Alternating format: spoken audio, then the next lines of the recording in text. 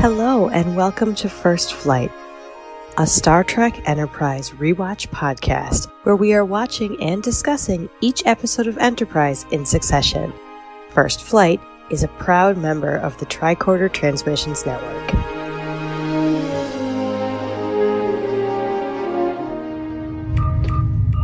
This is Commander Tucker of Enterprise. We've got some information you're going to want to hear. Welcome to all you Enterprise fans for the First Flight Season 1 wrap up bonanza. I'm your co host, Abby. And I'm your co host, Melanie. And tonight we'll be going over all of Season 1 and discussing each main character, the big season story arcs, all the stats of our ratings from the season, and to top it all off, we're giving out a Golden Porthos and a final Vulcan's verdict for the season. It's a fun filled look back at what we loved about season one of Enterprise. And now Melanie has a couple shout outs for us. Melanie? Thanks, Abby. Before we jump in, I just wanted to extend some thank yous on behalf of both of us. I want to say thank you to the wonderful First Flight community for listening to our show and for participating with us online. It's been so much fun. We've loved hearing your thoughts and your picks. And it's been really great sharing the love of enterprise with our friends from around the world. And also, I want to give a shout out to our behind the scenes first flight support team. Our appreciation goes out to Jeff Hewlett and the Tricorder Transmissions Network for hosting our show. Big thanks to our amazing podcast editing support team of Anya B. and Jeanette Balthazar, and to Brian Huddleston, our awesome technical consultant and art logo designer. We couldn't do it without you. And our last thank you goes out to our good friend Jim Morehouse, whose show here on the Tricorder Transmissions Network, Trek Ranks, is what brought Melanie and I together. Jim was invaluable to the startup of this podcast, and we both thank him deeply for the support and suggestions along the way. And in his honor, we created the first part of our show tonight, the character spotlight. We'll be talking about each of the seven main characters, Trek Rank style, by distilling our thoughts down to a five word summary and a hashtag with a brief chat after. Okay, Melanie, let's deploy our subspace amplifier and get going. Now, before we get started, I do want to point out that we did not share any of these ahead of time. And so if we have any duplicates, that's just because we happen to be Star Trek brain twins. And we again we've discussed all of these characters in huge amounts of detail on previous episodes. So if you want to hear more of that, go back and listen to our previous season. We are really distilling it down here.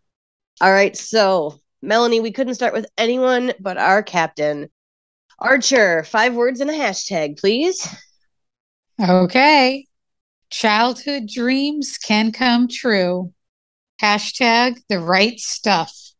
What's unique about Enterprise is this is truly a first flight, quote unquote, because Warp 5 allowed them to venture into the unknown for the first time with a brand new captain. So, of course, he will make some mistakes and learn as he goes. And I love and appreciate that. Had a little bit of a rough start there at the beginning. He has his prejudice to Vulcans, him threatening assault on T'Pol, not cool. But what I really love about Archer is he does reflect on his errors, he admits them, and overall, damn, did he do a fantastic job as captain with amazing success. From fostering morale, being empathetic, to dealing with life and death experiences, thinking on his feet quickly over and over again, he proved that he is a terrific leader and captain. Big Jonathan Archer fan here. He's really down to earth, and I appreciate his integrity, his instincts, his caring, his passion about the mission. Scott Bakula did such a great job creating such a beloved character. I can't imagine anyone else as Jonathan Archer, and he's one of Starfleet's finest. For me, he's the heart of the show and the crew. That was beautiful. And I think you summed up a lot of what I was going to say, but here's my five words and a hashtag and a little bit of my two cents. So my five words are first captain for a reason, and my hashtag, I had to do it, faith of the heart. Because oh. this is Archer. He has believed in this mission. He has believed in humanity. He has believed in going out and finding a broader community since he was a kid, just like you said. And I also appreciate that he isn't perfect. Nobody is. I enjoy a flawed person who reflects, like you said again. And no matter what he does, his instincts are correct. We've seen over and over again, he can size up a situation in a heartbeat and he's not afraid to make tough decisions when he has to and he he as the season goes on calls on more and more of the people around him to be his sounding board and help him out so he's that captain in the right place at the right time and as we've seen in more recent trek it couldn't have been anybody but him all right, so let's move on to our favorite resident science officer, T'Pol. Melanie, five words and a hashtag. Okay, T'Pol, steadfast loyalty and wise guidance. Hashtag layered and deep. Talk about a character arc from her to look beyond your provincial attitudes and your volatile natures and that very awkward, intense ready room scene in Broken Bow to us just recently discussing her bond with and going to bat for Archer and the crew in Shockwave. What a journey. I absolutely adore this character, and I can't stress enough how much she brings to the show. And I love that we get to be a part of her personal journey that is happening simultaneously with the Enterprise adventures. And you know, Abby, when I was thinking about her, I thought of another TOS callback.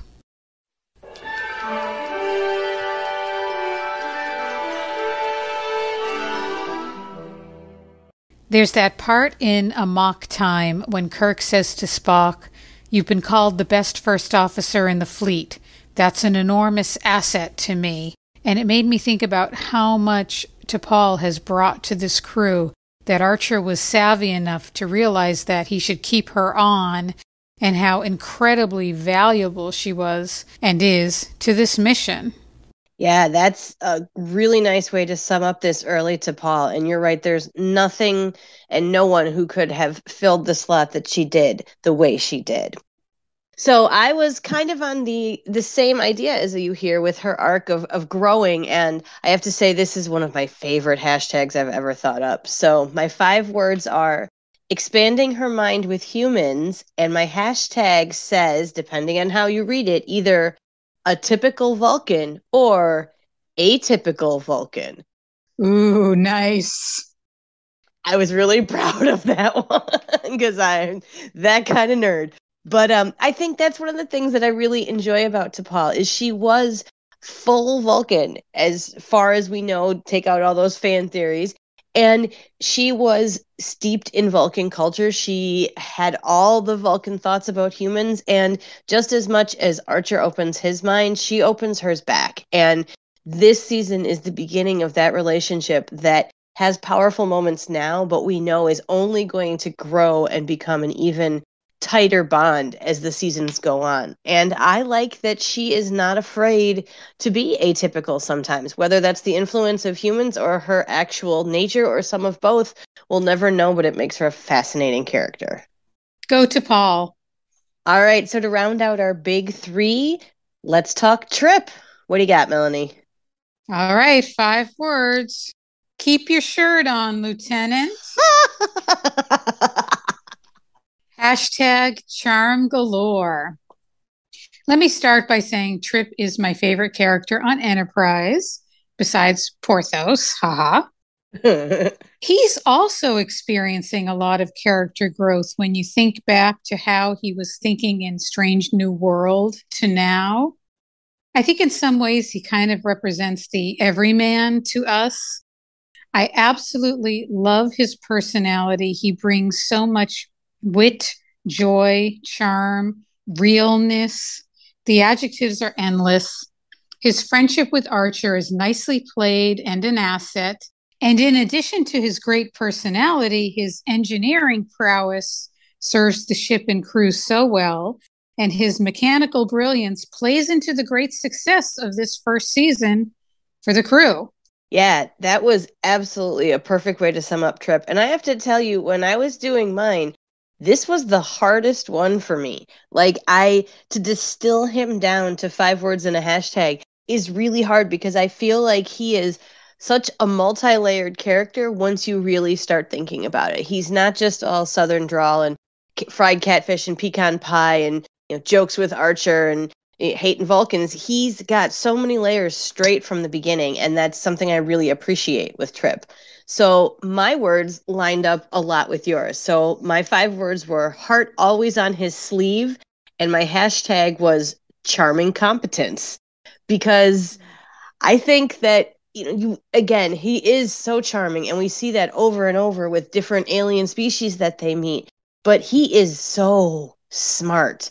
He is the chief engineer on this ship for a reason. How many times did he save them? How many times did he figure stuff out i mean how many times did he recalculate and push them further than they thought and you know he was the one whose engine made it to warp 5 the first time i mean the whole ship gets that honor but but Trip gets a little spe- special bump there for being the first engineer whose whose engine actually hit warp five for humanity. So bravo to Trip. This season was just the beginning of his journey. He's got some some hard turns coming up and some tough stuff. So it was nice to see the layers of this early trip. All right, so let's move on to our favorite armory officer, Malcolm Reed. Melanie, you're up. All right, Malcolm Reed. Five words. Blowing stuff up with gusto. Hashtag by the book. As we've both talked about many times throughout the season, this is the character that has grown on me the most. I've come to develop such a deep appreciation for Malcolm Reed. And as you have said so well, Abby, he is everything that you would want in a tactical officer. You know that the mission will be a success with Malcolm leading the charge. You feel secure about it and you don't give it a moment's thought. He's always thinking ahead and anticipating, and he's reliable, dependable, loyal, efficient, responsible, innovative. As we talked about on Shuttlepod 1, we learn that there's more to Malcolm. We learn more about his deep feelings about his crew and his family and that he's much more layered than just being an efficient guy. Yeah. Malcolm is such a shining star for me in this rewatch, and I'm so glad for it. It has really made me appreciate this character and his arc in the series in a whole new light. And while some will say it was not as heavy and filled in as some of the other characters, there's a lot there, especially when you're looking at all of the little, you know, people call them throwaway scenes, but there's a heap of character development in there. And I'm telling you, I am never looking at a pineapple cake again the same way. Probably never looking at a pineapple again the same way. But uh, my five words are damn good at his job, hashtag force fields and explosions. So let's not forget that while we know he likes to blow stuff up and much prefers the shooting back part, he is also the guy who fine tuned and first used a force field. So yep. that's that's a huge, huge thing. If nothing else, that would get him in the history books. And that is just one thing that he's like, oh yeah, our ship's getting taken over by a goo monster. Let's finish up this force field thing I've been tinkering with in my spare time. Malcolm is the guy you want around to help you be safe and to make sure that everything is going to go the way it needs to go. Okay, we've passed the halfway point. The next person we need to discuss is our favorite linguist, Hoshi Sato. What are your five words and a hashtag for her, please, Melanie? Okay, Hoshi. Fear of flying to bad ass. Hashtag Renaissance woman. Of all the characters' arcs we'll be discussing this season, I think hers is the most significant. I've talked about how I can relate to Hoshi's anxiety and how I would probably feel similarly on a ship at first. And when you think back to that first meeting in Brazil with her anxiety of being on the ship, standing next to the warp reactors, being jumpy, stars going backwards, her away mission in fight or flight, the sluggo analogy to her initiating breakthroughs with the universal translator, being absolutely brilliant, going undercover, hmm. being a people person, solving life or death situations like in Sleeping Dogs, basically handling anything that's thrown to her. She can handle anything and deal with everything with supreme excellence, communicating regularly with aliens such as Vox Sola. She's just an all around badass, and I think it goes without saying that this mission would not be successful without her. She's amazing. I absolutely adore your giant list of everything Hoshi did this season. When you hear it laid out like that, how could you say that she was anything less than incredible? Uh, my words and hashtag go right along with what you were saying. I have genius linguist grow space legs and hashtag human UT. So I, I had the exact same idea. I mean, this woman does everything. And she does all of it while dealing with the fact that she's not immensely comfortable. And I think while we said that, you know, Trip is kind of the heart of the show sometimes, we all understand his feelings and emotions. And he says the things we're feeling right along with the crew. Well, Hoshi is more of the who we probably are overall. So both of them really offer such a nice look into what it would be like to be on Enterprise. And you know, I really always appreciated Hoshi being, you know, one of the smartest people on the ship and not being afraid to ask for help too. I mean, it takes her a while sometimes. She wants to crack it herself, but when she needs help, she asks for it and she accepts it, and that is powerful. Indeed. All right, five down, two to go. Travis Mayweather. He's up next. What do you got, Melanie? Okay, five words. Fab piloting from Resident Boomer. Hashtag the sweet spot.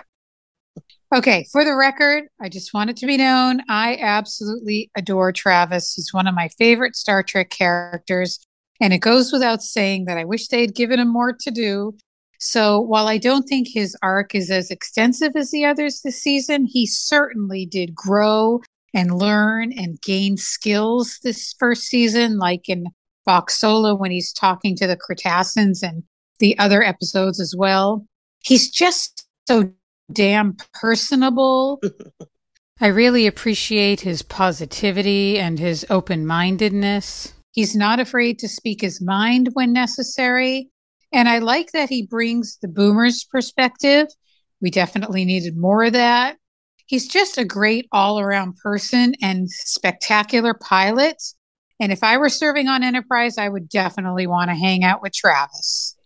That's a really good way to put it. Yes, I would want to hang out with Travis too. And I always have hoped somewhere in the back of my mind that he wrote a really good autobiography like later in his life talking about growing up as a boomer, being on Enterprise, and everything that he does after. Like, I would read that book.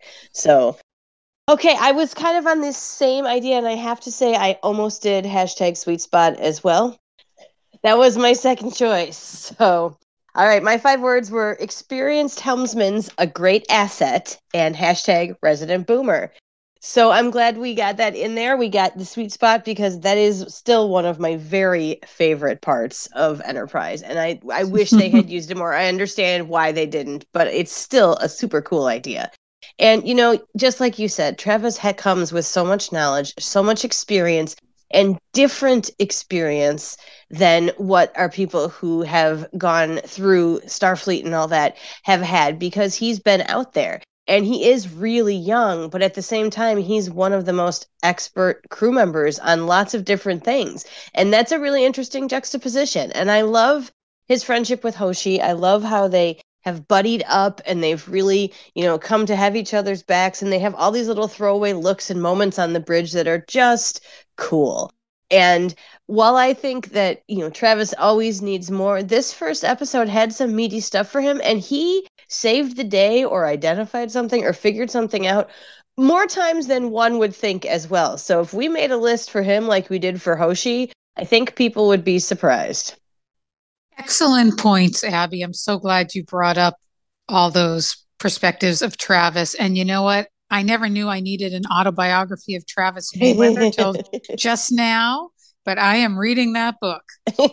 Somebody write it, please. All right, and rounding out our seven main characters is our favorite Denobulan, Dr. Phlox. Melanie, your last set of five words and a hashtag. All right, here we go. Delightful dose of Denobulan doctoring. Nice. Hashtag optimism, Captain. Before I jump into this, can I just say how beloved this guy is? Yeah look up sparkling personality in a dictionary, and it is Phlox. His combination of effervescent joy and charm with outstanding medical skills is just incredible.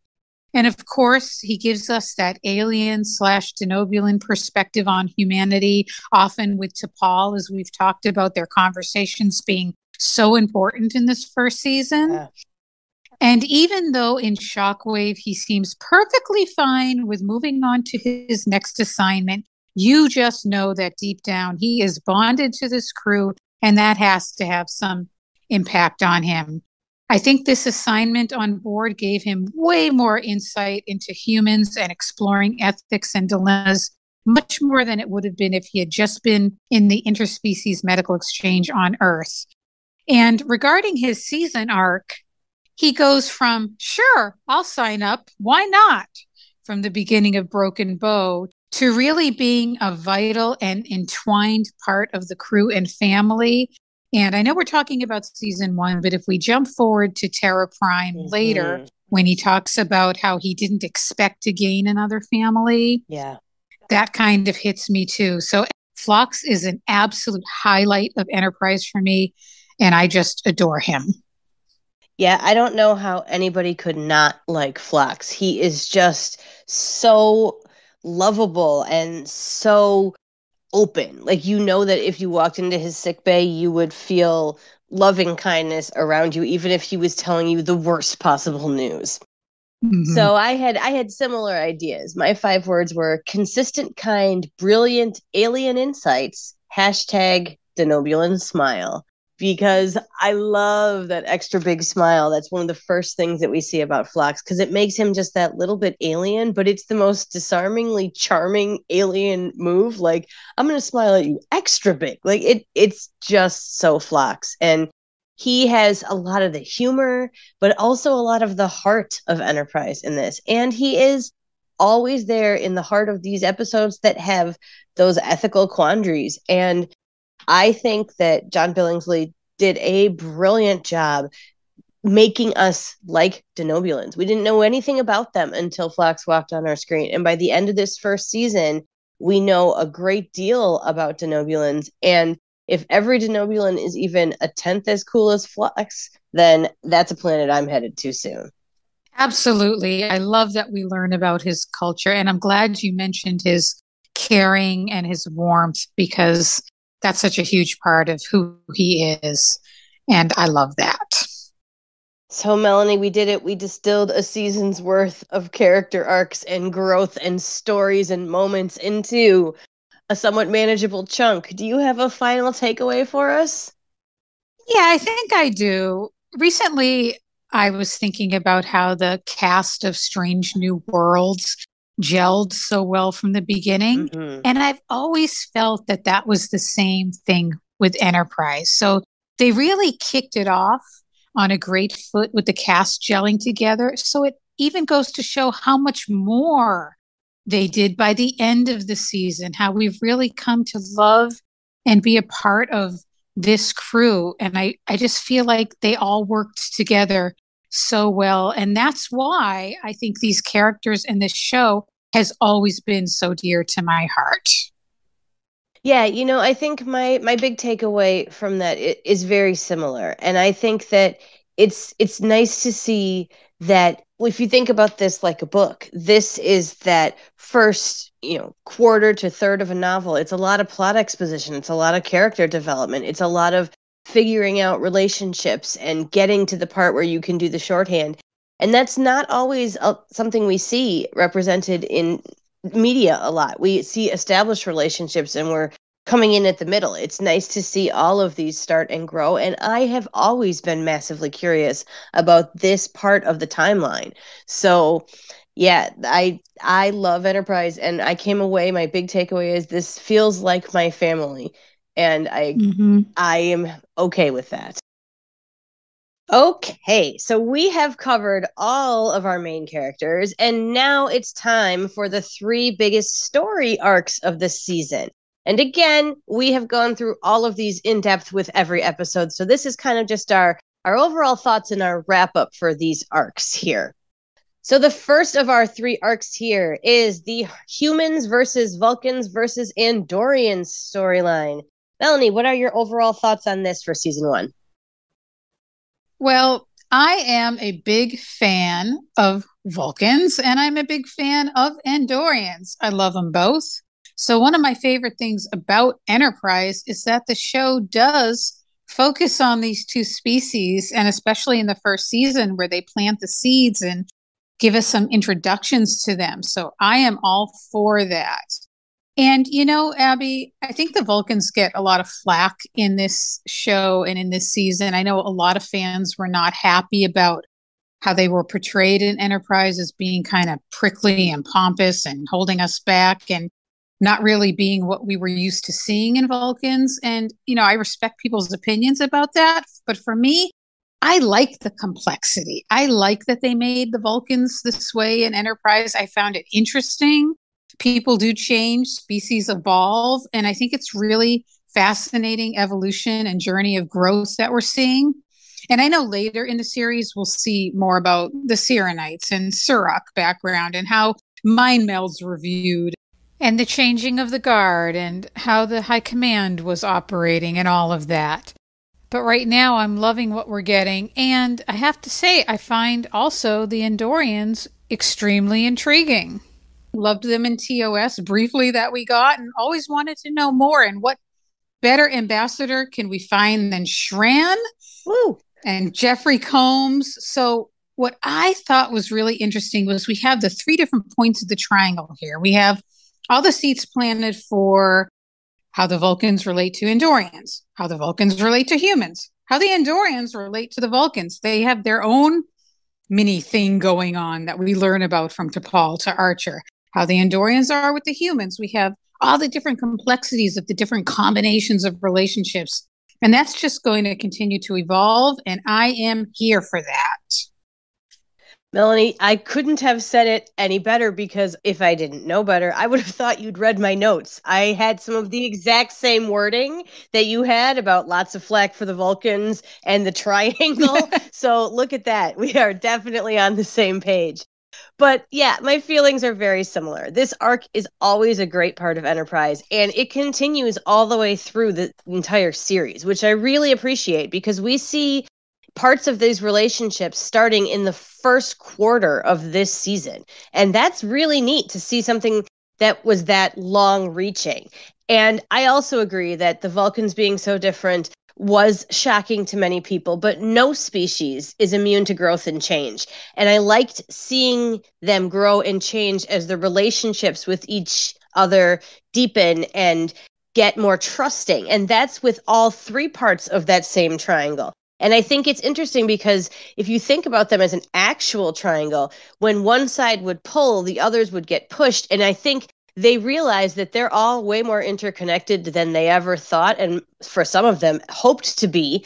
And that's an interesting realization that we see them starting to get here that if we were going to hang in this part of space we're going to see each other a lot so we need to we need to figure out how to make this work and I love that we have T'Pol there because, like I said earlier with my hashtag, she is both a typical and atypical Vulcan. And she adds so much to the relationships that they all have with other Vulcans because they have a good relationship with her and a growing trust with her. And she's got a decent trust with the High Council. So she she can speak on the humans' behalf too. And that's an interesting piece of that mm-hmm. triangle. And yeah, Shran. Like I could just I could wax poetic about Shran for I don't know an hour or two, and then add Jeffrey Combs, and it would be you know an entire seminar.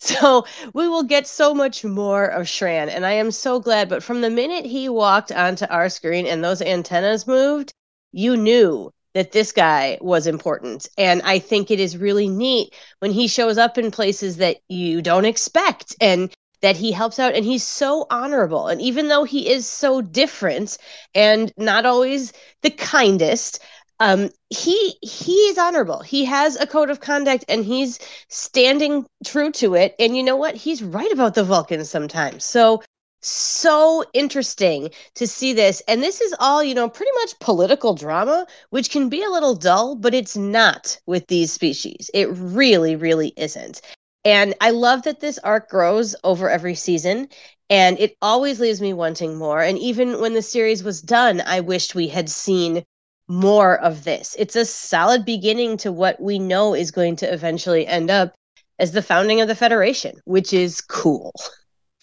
Well said, Abby. These are the founders of the Federation, and here we are getting to see it happen and grow from the very beginning. We're along for that ride. All right, so let's move on to the second big arc. And I didn't even know quite how to name this, so I called it there's a lot we don't know. We need a directive, maybe. and I'll start with this one since that was a very nebulous arc title.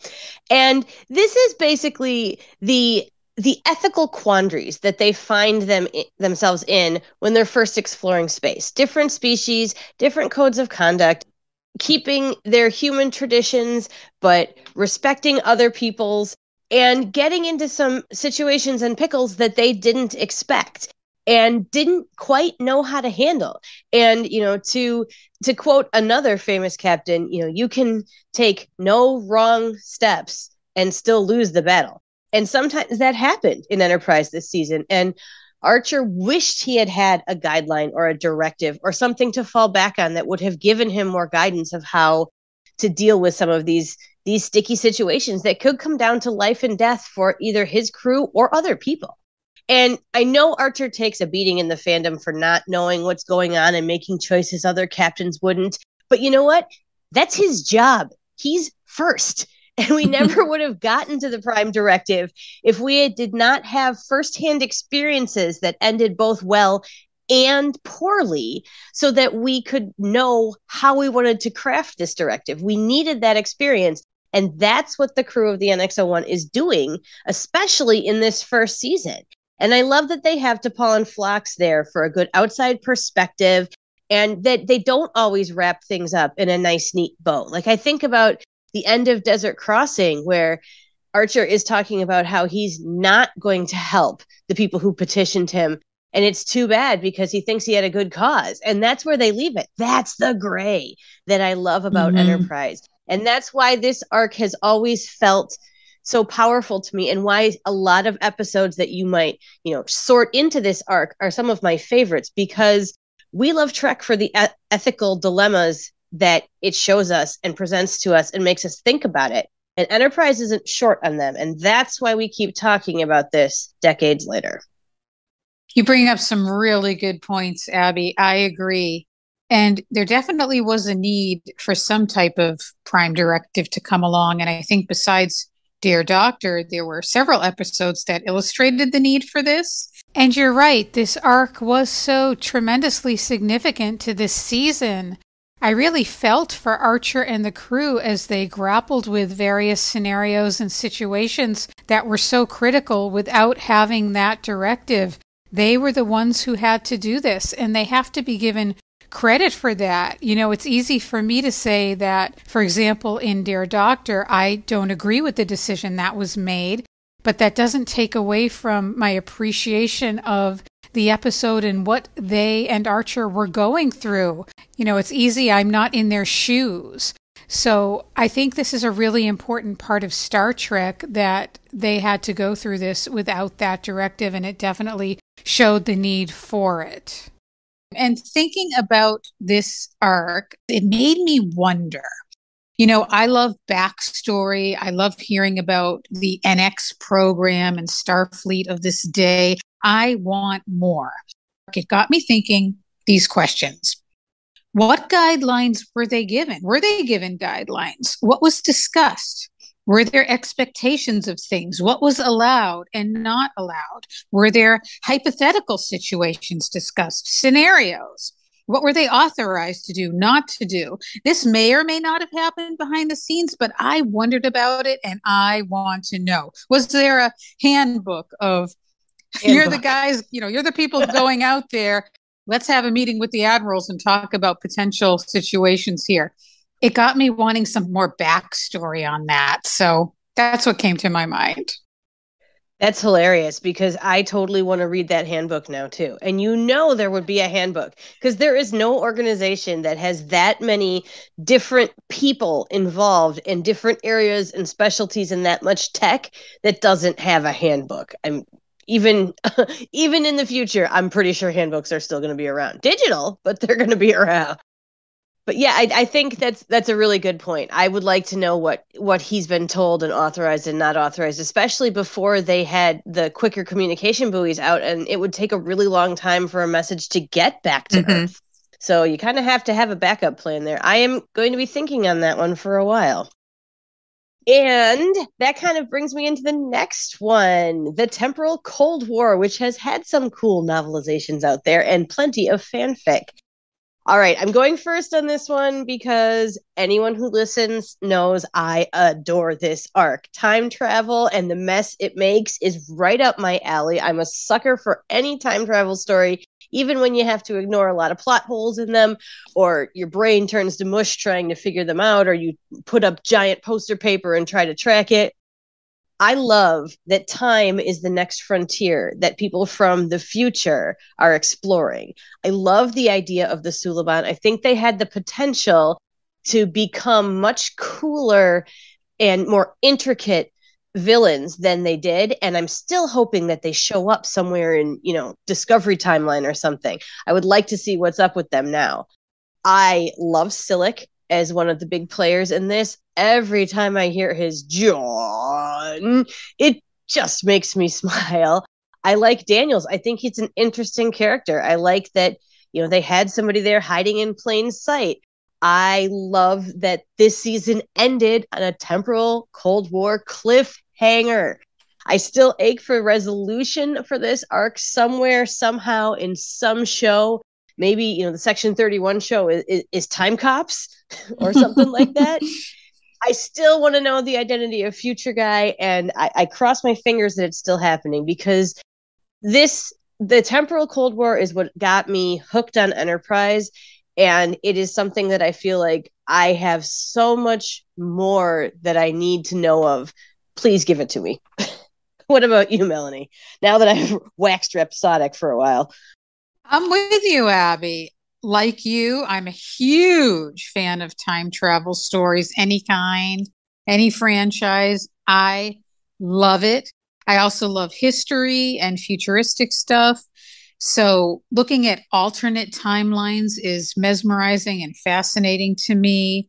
So, I love that they gave us what they did in Enterprise with the Temporal Cold War. But, like you, I want to know more. So, I will just leave you with these thoughts. More, please.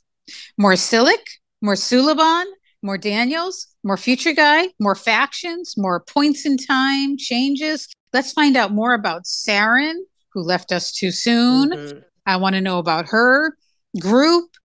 I want more. I thought they did a great job. And the whole idea of a temporal Cold War is just fascinating in itself. And I know as we go through Enterprise, we'll talk a little bit more about it in the future, and I look forward to that. Yeah, there's some good stuff to come. But we're doing a retrospective right now. So we're going to move on to a portion I'm calling the stats because we've been collecting grappler ratings this whole season for all the episodes. And I've done some uh, finagling of data. So we're going to talk about our top and bottom rated episodes. And I checked our spreadsheet, and not surprisingly, we align more often than not. so I am going to start with our top ones. Let's talk about the wonderful ones. So, Melanie, both you and I had Fallen Hero as our top pick, which should be no surprise to regular listeners. It was the only one that got a 10 so far from mm-hmm. us.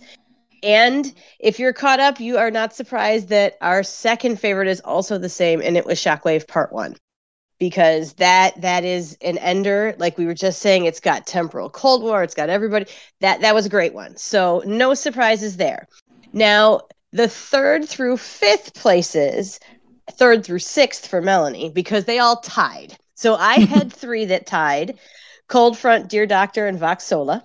And Melanie, you had four the Andorian incident, Dear Doctor, Vox Sola, and Shuttlepod One. So I think when you look at both of our lists there, that is some high quality, fantastic enterprise right up there. And I am not surprised that uh, we overlapped as much as we did.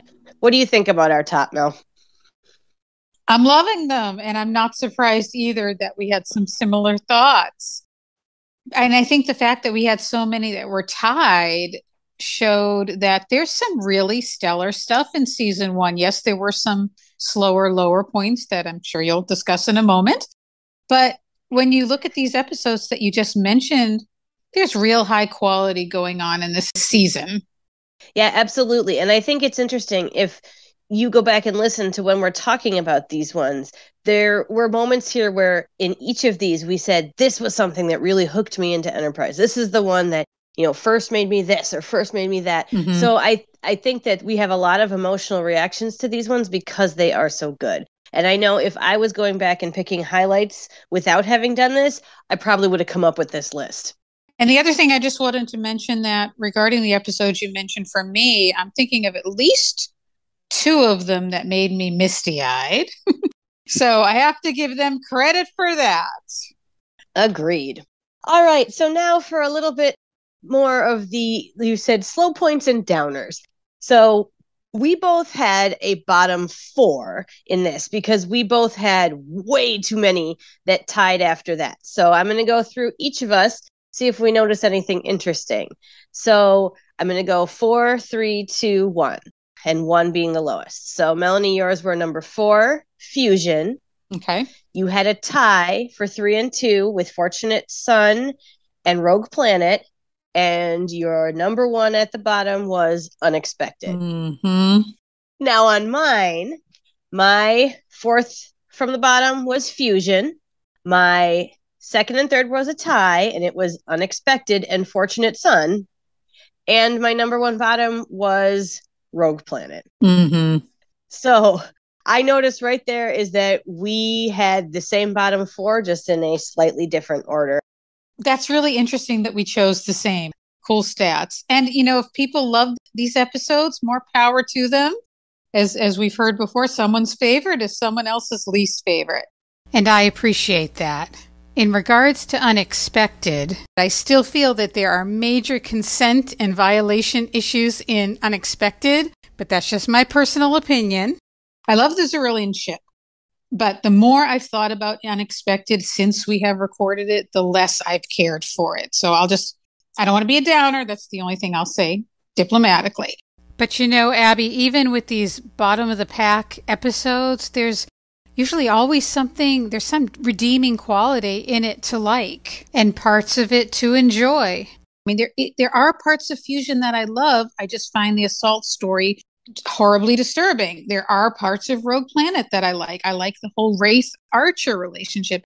Even Fortunate Son, which has some big issues for me. There's there's always something to appreciate in the episode.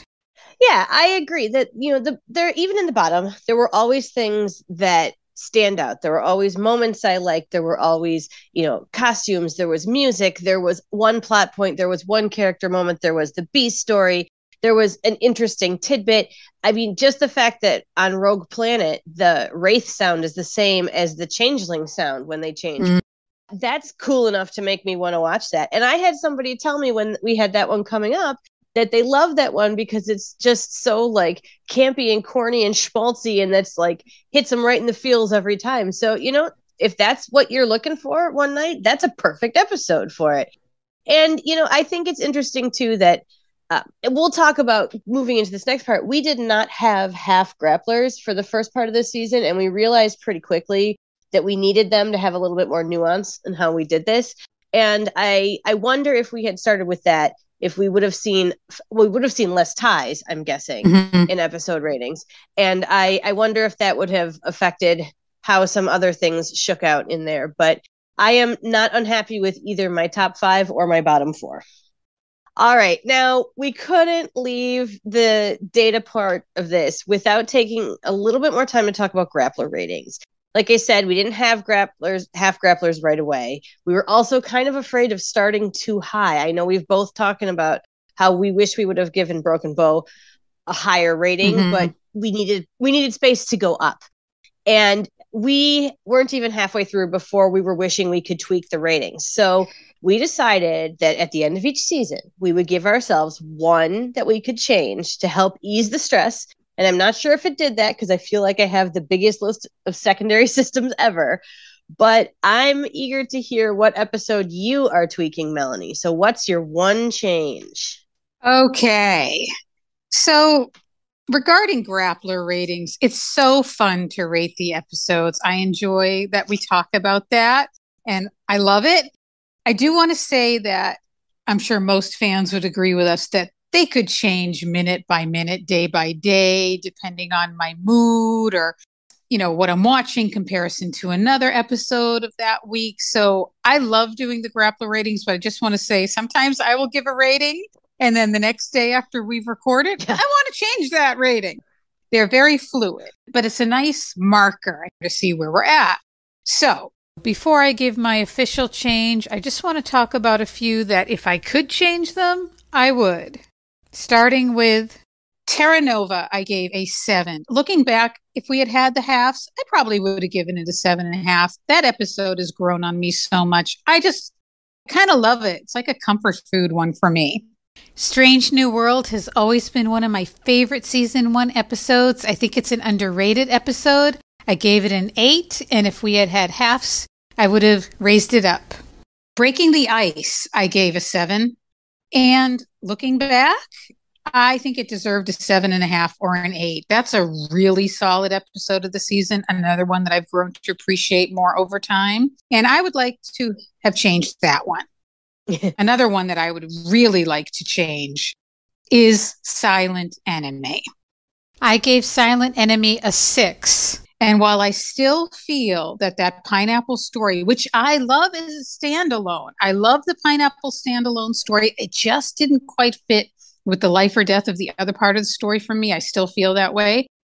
Even with that, this episode rocks. It's a lot stronger than I thought. So if I could go back, I would probably give it an eight because those silent enemy aliens were super cool the way the enterprise worked together for teamwork for that was really awesome. That was a riveting episode. And lastly, the other one I would change if I could, and I feel very strongly about this, is the Andorian incident, which I gave a 9. If we had had half grapplers, I definitely would have given it a 9.5, possibly even a 10. It's right up there with Fallen Hero for me. I also do not like to see Archer getting beat up. Putting that aside, this is one of the top episodes of the season for me. So I would I would give that one a boost. Okay. My official change. Dun dun dun dun. you already mentioned it, Abby. It has to be Broken Bow. I know we gave Broken Bow an eight. Looking back, um, I am changing Broken Bow to a 9.5 and when you read my top episodes, I really wanted it to be there. Oh, because it is my favorite pilot of all time. I will say, though, Modern Trek is giving it a run for its money, but it still is my favorite pilot. Broken Bow, I adore. The only thing keeping it from being a 10 is I am not a fan of the whole decon chamber business. but Broken Bow needs to be way higher for me and Abby, I am so curious to hear what you're thinking about yours. All right, so I have thought about this, not as much or as deeply as you have, because I I'm kind of okay with. I made a choice. I'm I'm gonna stick with it. But there are ones that have niggled at me, and two of them you mentioned. One of them being Terra Nova, which I always like when I rewatched was was not so excited to get to, but I watched it with with new eyes this time, and I watched it after being in a pandemic and still being in a pandemic. And I think it was interesting to to look at the the isolation and all the different things there. And I just I had a new appreciation. And Broken Bow as well for me. Like I I it's my favorite pilot. I agree that some of the new treks really have done a lot to challenge that, but it is it is my favorite pilot. And I would would have put that one up if it wasn't for what I actually am putting up. Okay. And first, let me say that I don't think our listeners know this, but Melanie does, that for some reason, I continuously flip flop the names of Silent Enemy and Sleeping Dogs. Like all the time when I'm talking about them, when I'm writing about them, when I'm putting them in notes, when I'm making folders. Like for some reason, those two cannot stick in my mind and they never have. Like I can tell you the whole plot, but somehow those titles always get intermixed. And so I've spent a lot of time this season thinking about those two episodes because I'm trying really hard not to mix up the titles like I always do for some reason. And Sleeping Dogs, I I have thought about and I, I'm good with my rating, but Silent Enemy, just like you, the more and more that I come away from it, the more and more I go back and I'm thinking about it. In fact, I think I have thought more about Silent Enemy than I have any other episode this season. And I feel like that really is telling me that that's my one that needs to go up because I had given it a six as well. And and some of my reasons are valid. I went back and listened and I watched again to make sure this was the one I really wanted. And and it is. I I don't think I was wrong uh, about what I said on the episode, but I think that I was wrong about how much it would stick with me afterwards and how much I would go back to thinking about it. And that that's a powerful Star Trek episode for me. So I'm actually bumping mine from 6 to 7.5 because I really can't stop thinking about that. And part of that maybe is from our friend Ross on Snaptrack, who made a hilarious screenshot of the this silent enemy aliens with a big old pineapple on their head, which is one of my favorite things ever. I look for excuses to use it. I have to give Silent Enemy a lot more credit than I did when we went through this season. I love it. So now we come to another hard moment. We uh, are going to give out our very first golden Porthoses because we are going to pick one thing, one moment, one overarching thing, one something about season one that is the very best for us. And I'm going to start with this one because it's a little bit personal for me. And I have to say, what do I talk about most on this pod besides cold opens?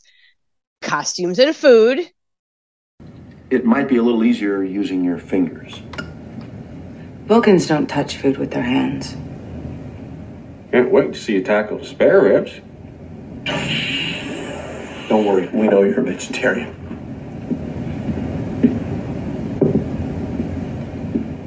Looks delicious. Tell Chef I said thanks. Of course, sir. And really, I was going back and forth between those two, and it was kind of feeling like an impossible choice until I realized that really why I couldn't pick was because them together was what I wanted to pick. Because I've had multiple people reach out to me, people who have been listening to the show and say they saw a cool costume or great food in Trek, old or new, and they thought of me. People are sending me tweets and articles about costumes and food. And when Dorothy Duder died, my timeline was just flooded with people sending it to me because she was the stylist, the food stylist on Enterprise. And the fact that people think of me when it's Trek costuming and food, even if it's only a little handful of people in the world, makes me smile and it fills my heart to hear that. And I just love the little community that we have and that you know somewhere out there strange new world pike is cooking and someone's going oh abby's gonna love this. And that just makes me happy. And i love food in star trek and i love costumes in star trek and please keep sending me all the stuff because i can't get enough Abby, that's a great pick. And I want to count myself among those people because you have taught me when, you know, I, I'm a big fan of Enterprise. I've been watching it for years, but honestly, I never really looked at the food that closely. I like the mess hall scenes. I always have. It's cool that they have food. But I never thought about it in a deeper way. And same with the costumes, too. I've always loved costumes. I used to do a lot of theater, but you have inspired me to look more closely. And I have enjoyed hearing what you have to say about the food. It's gotten me to look deeper at it and appreciate it and love it. And I'll always think about that kiwi and strawberry. Yeah. I thank you. I'm one of those people, and you have motivated me. Well, thank you. That that makes me smile over here.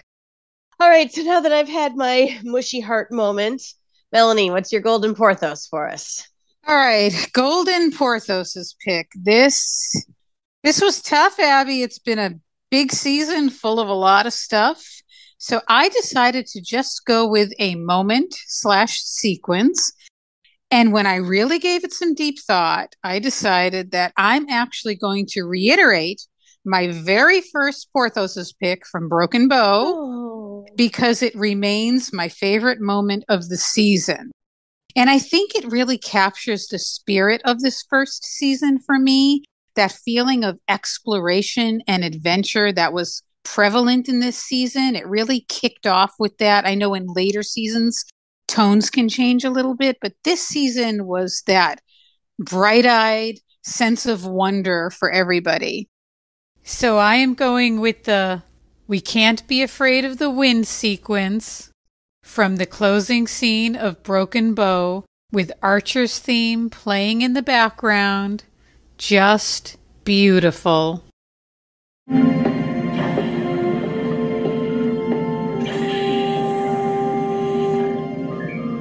I hope nobody is in a big hurry to get home. Starfleet seems to think that we're ready to begin our mission.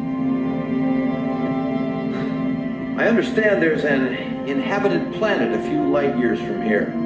We've detected it, sir. Sensors show a nitrogen sulfide atmosphere. Probably not humanoids. That's what we're here to find out. Prepare to break orbit and lay in a course.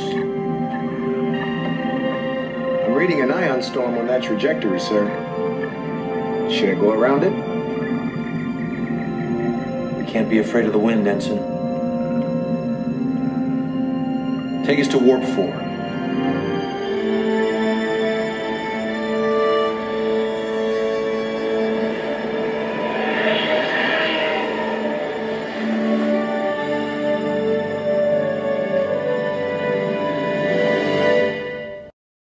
Oh, that scene is so beautiful and so perfect, and I get goosebumps every single time. So that is an absolutely perfect first season Golden Porthos.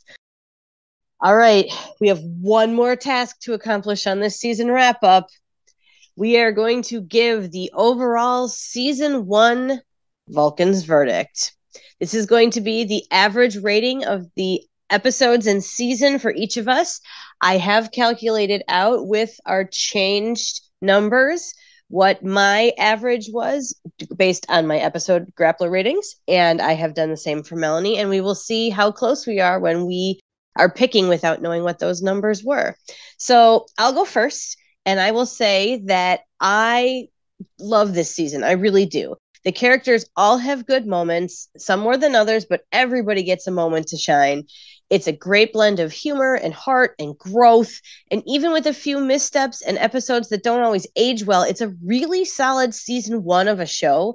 And it's a solid season of Star Trek.